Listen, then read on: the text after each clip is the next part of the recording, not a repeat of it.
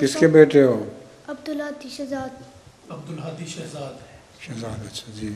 السلام علیکم ورحمۃ اللہ وبرکاتہ پیارے حضور۔ السلام۔ حضور میں نمان احمد ہاتھ ہوں۔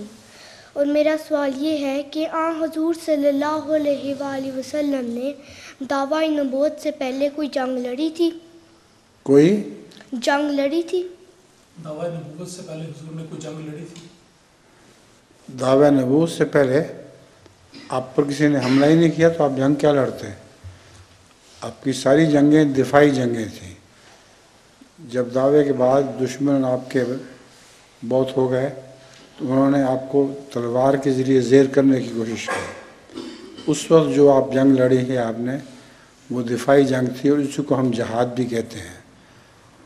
تو دعوے سے پہلے تو کوئی دشمن تھا ہی نہیں، بلکہ آپ بہت حرد عزیز تھے۔ جہاں سے آپ گزرتے تھے لوگ امین امین کہا کرتے تھے۔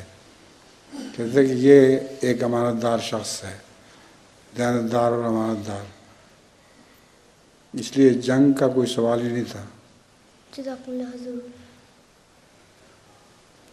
چھوٹے سے بچے کو خیال خوب آیا۔ ہے